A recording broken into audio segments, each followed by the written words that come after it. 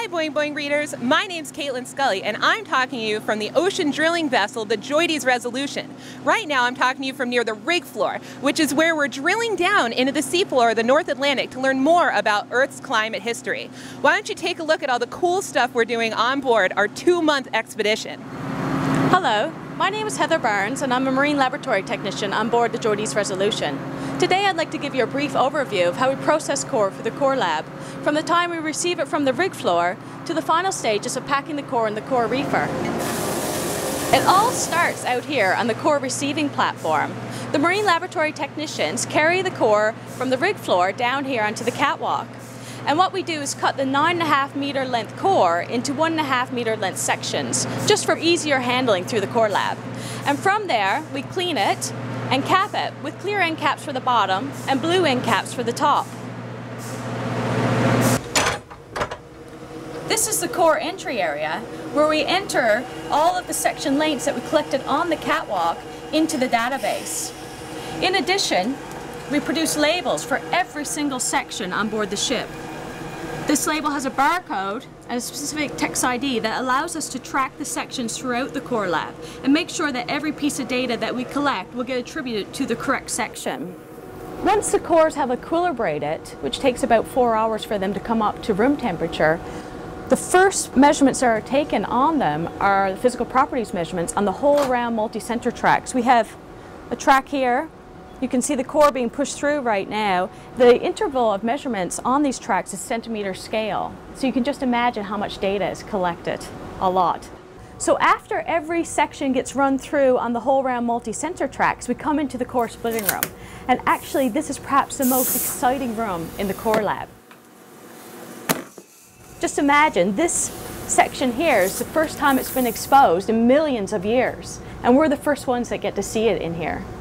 So basically, what we do is split every single section into half, a working half and an archive half. The archive half is our permanent record, and our working half is a half that the scientists are allowed to work on. It's the side that they're able to probe and pick at and sample from. You can see here the scientists are actually sampling the cores. The samples that they're taking here may be chemistry samples or further discrete samples for the physical properties laboratory. This here is the archive half section table. This is where the core describers visually describe each and every section. Yeah, go for it. Many clays and silt-sized uh, rock fragments. Once all of the sections are measured in the core lab, they're brought over here and stored in these plastic D-tubes.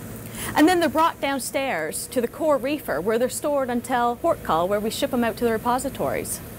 So when it comes to understanding Earth's climate, what we really need is essentially a continuous picture of the dynamics of what's been going on with the climate and what's been going on with the organisms that are living in those different climate regimes.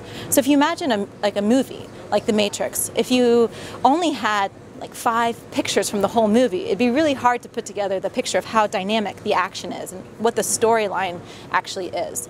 And we have the same problem when it comes to understanding Earth's history. In most places, if you're on the top of a mountain, you only have a few snapshots of Earth history. But here in the open ocean, we essentially have a high definition video of, of Earth's climate history and the response of organisms.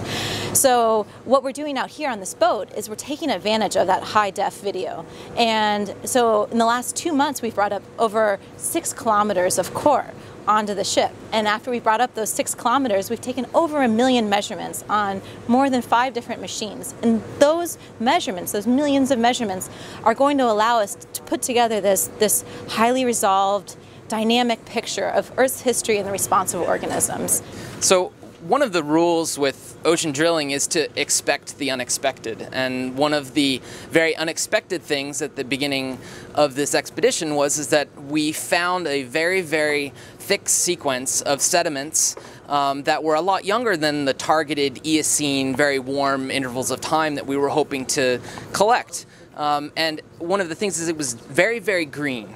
And it was, um, I don't know if I'd call it affectionately referred to, but certainly called the Green Monster. And so this is now one of the mascots of the cruise is this little guy here um, that we fashioned in honor of the green monster. And um, now, rather than thinking of the hundreds and hundreds of meters of green sediment, we think of sort of more of the fun times. And this is one of the things that we do while working long 12 hour shifts to sort of keep our sanity. Sometimes it really is the little things that help us get through these long shifts. I mean, it is a dry ship. So, here in the geochemistry lab, we have things like William Shatner to keep us company when you're weighing on the Cahn balance for hours at a time. All joking aside, though, it's tools like the Cahn balance that really help us do science at sea. It takes over 200 measurements just to compensate for the motion of the ship. If we didn't have tools like this, we would have to measure all of our samples back on shore. If you want to learn more about the awesome science we've been doing on Expedition 342, you should just check out our YouTube page. All you have to do is look up Ocean Leadership.